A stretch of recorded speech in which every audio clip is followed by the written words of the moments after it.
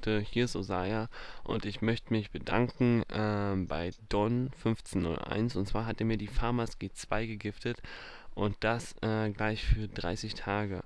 Ähm, danke für diesen wunderbaren Gift. Ich wollte schon lange mal mit der Farmers G2 spielen. Ähm, ich werde die Waffe aber allerdings, ähm, denke ich mal, erst nach meinem Urlaub auspacken, denn ich war in ungefähr zweieinhalb Wochen ähm, weg in den Urlaub und äh, das würde sich ja dann nicht lohnen, die Waffe jetzt schon aufzumachen. Denn ich habe sie ja für 30 Tage bekommen. Ähm, das finde ich ziemlich cool, also danke für diesen Gift. Und jetzt lasst uns anfangen mit dem Review. Hey ho, hier ist Osaya mit einem neuen Review. Ähm, diesmal mache ich ein Review über die M110 SAs. Ähm, die Sniper Rifle ist für mich äh, persönlich die beste Semi-Automatik-Sniper und auch ähm, die beste von den ganzen Automatik-Snipern. Natürlich ausgenommen der M107 CQSC Gilly, ähm, die ja eine One-Hit-Kill-Sniper ist und das hier ist eine Zweit-Kill-Sniper.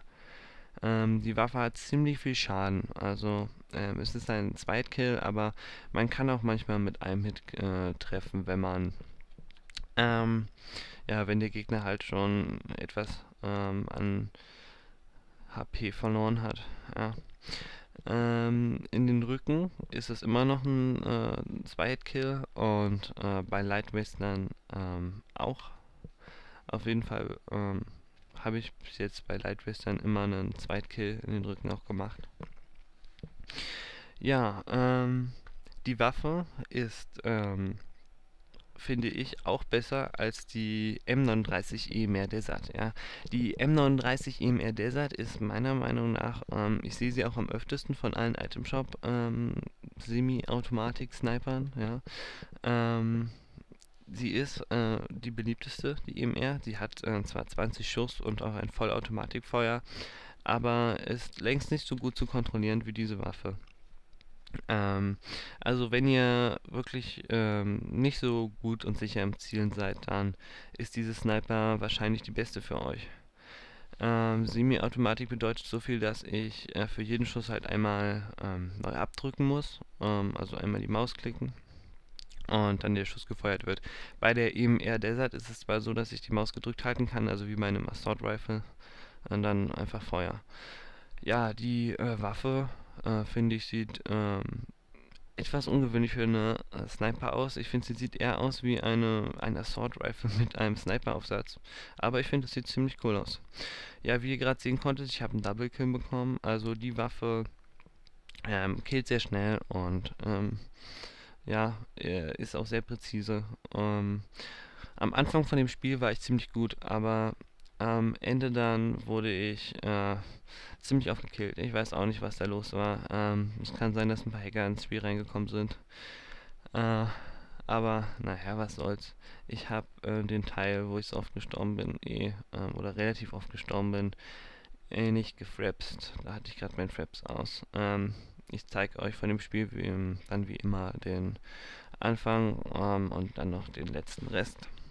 Ähm, ja, viele würden einen vielleicht als ein Autonoob bezeichnen, wenn dieser Sniper äh, sniped. Ähm, ich weiß nicht, ich finde es immer etwas sinnlos. Man muss äh, schließlich zweimal treffen, um einen Kill zu machen mit der Sniper. Und außerdem, wenn man halt äh, nicht so gut zielen kann, dann bringt es einem gar nichts, mit einer äh, One-Hit-Sniper zu spielen. Und ähm, ja, ich meine, so viel besser ist man jetzt auch nicht mit der Sniper. Man äh, kann viel besser sein, wenn man eine One-Hit-Sniper hat und mit der dann äh, gut umgehen kann. Also da kriegt man schon mehr Kills. Ich würde die Waffe aber trotzdem für jeden empfehlen, der halt äh, nicht so gut mit der One-Hit-Sniper umgehen kann. Zum Beispiel der M200 Gilly oder der L96. Ähm, also das ist schon ein Unterschied für Spieler, ob man da äh, einfach nochmal wegscoped oder einfach dran gescoped bleibt, wie bei den ganzen Semi-Automatics und Automatik-Sniper. Ja, ähm, die Waffe ist vergleichbar mit der SR25, ähm, die man ja schon ziemlich am ähm, Anfang kaufen kann. Also ihr könnt euch die mal kaufen und wenn euch äh, dieser Typ von Waffe gefällt, dann wäre die M110 SAs äh, vielleicht etwas für euch. Also ähm, in die Richtung geht auf jeden Fall die Waffe. Ja, ähm, die Waffe hat ja, den Schaden habe ich ja schon genannt und ähm, die Portability der Waffe ist äh, ziemlich schnell, also liegt bei 50 Punkten und das ist äh, ziemlich gut für eine Sniper. Äh, es gibt wenige Sniper-Rifles, ähm, die da äh, besser sind. Also es gibt schon welche, aber ähm, der Unterschied ist dann auch nicht sehr groß. Also mit dieser Sniper kann man sich schon ziemlich gut äh, bewegen. Ja, ähm, die Feuerrate der Waffe liegt bei 30 Punkten. Das ist auch ziemlich gut für eine ähm, Automatik-Sniper. Ihr seht ja auch, ich kann ziemlich schnell mit der Waffe schießen. Und ähm, ja, durch, äh, ich brauche halt immer nur zwei Schuss und dann ist der Gegner tot. Also ähm, allgemein ist die Waffe sehr anfängerfreundlich. Also ich, äh, man hat halt einen sehr kleinen Schwenk im Vergleich zur äh, M39 EMR Desert, die hat ja einen ziemlich hohen Schwenk und äh, also das heißt, sie schwenkt äh, weit nach rechts und weit nach links, wenn ich äh, die Maus sozusagen nicht berühre. Und bei der Waffe ist es äh, ja relativ angenehm und im normalen Bereich und man kann äh, dadurch halt, man kann allgemein die Maus sozusagen ruhiger halten und so auch etwas präziser Kills machen. Die M39 EMR Desert hat zwar eine äh, um drei Punkte höhere Präzision, aber die Waffe, äh, mit der Waffe trifft man trotzdem äh, jedes Ziel, das man treffen will. Und sei es irgendwie der halbe Kopf oder der Viertelkopf, der da noch hinter irgendeiner Sandbank rausguckt. Also das ist überhaupt nicht das Problem mit der Waffe. Die Waffe ist übrigens auch ähm, präziser als jedes Assault Rifle, das man in Combat Arms äh, kaufen kann. Ähm, und ist äh, ja ähm, ziemlich präzise auch für äh, die Sniper Rifles. Also man wird wirklich jedes Ziel treffen oder kaum verfehlen. Ähm, ja, die, der Reload der Waffe ist außerdem auch relativ schnell. Ähm, wenn ich mich nicht irre, kann ich auf die Waffe auch ähm, ein Extended Magazin aufschrauben.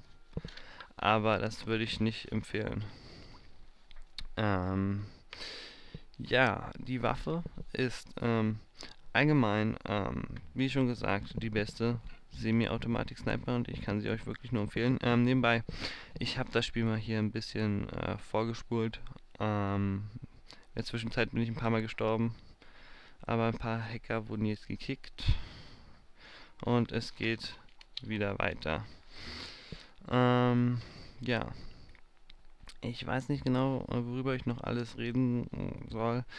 Ähm, es ist für mich immer relativ schwer, so ein Review über eine Sniper zu machen. Entweder ich ähm, kürze sozusagen das Spiel, also schneide es ein bisschen so zurecht, oder ähm, weil ich kann halt neben nicht immer mit ähm, der Sniper rumrennen. Also werde ich auch manchmal mit der Valkyrie rumrennen, aber das ist ja normal, wenn man mit einer Sniper spielt, weil Sniper-Rifles sind halt Waffen, die man ähm, eben nur auf große Entfernungen ähm, einsetzt. Also normalerweise auf jeden Fall. ja. Ähm, die Waffe kommt von Anfang an mit 10 zu 30 Schuss und das sind äh, durchaus genügend Schuss. Also ich hatte selten Munitionswangel und wenn, dann habe ich halt meine Zweitwaffe genommen, aber ähm, oder Drittwaffe, aber also man kommt schon ziemlich gut aus mit den 40 Schuss, die einem da zur Verfügung äh, stehen. Ja, ähm, ich mag die Waffe sehr und ähm, ich äh, würde sie ähm, ja vielleicht äh, sogar, also auf jeden Fall gehört sie zu den, äh, ich würde sie zu den besten, sagen wir mal, fünf Snipern äh, im Game auf jeden Fall zählen, wenn nicht sogar zu den besten drei. Ähm, obwohl, die, also es kommt natürlich ganz drauf an, aber sie ist auf jeden Fall die beste Semi-Automatik ähm, Sniper und wenn ich euch noch andere Sniper Rifles empfehlen kann, dann würde ich euch als One-Hit-Sniper die M200 Gilly empfehlen und als weitere Waffe noch die M107 CQSI, die ja auch äh, eine sehr gute Sniper ist.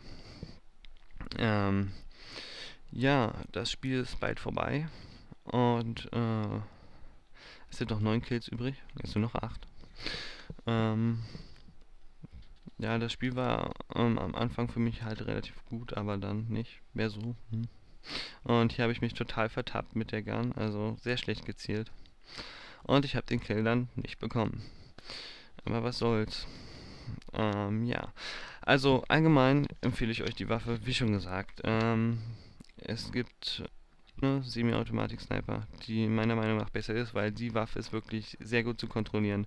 Man kann äh, das Ziel, also man kann ähm, das Fadenkreuz der Waffe, also wenn man durch den Zoom schaut, äh, sehr ruhig auf den ähm, Gegner raufhalten und dann da seine Kills machen. Ja, ähm, das war's von mir. Ich hoffe, der Review hat euch gefallen. Tschüss, bis zum nächsten Mal und danke fürs Zuschauen.